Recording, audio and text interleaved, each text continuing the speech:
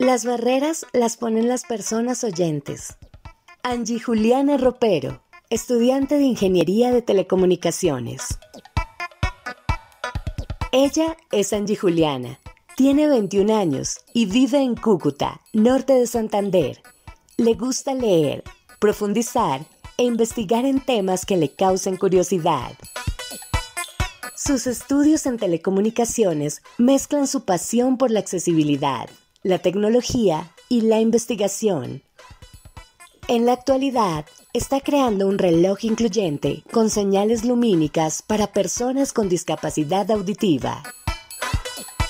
En su paso por Consentidos TIC, Angie Juliana aprendió herramientas para la producción de sus propios videos, algo que para sus investigaciones es muy importante.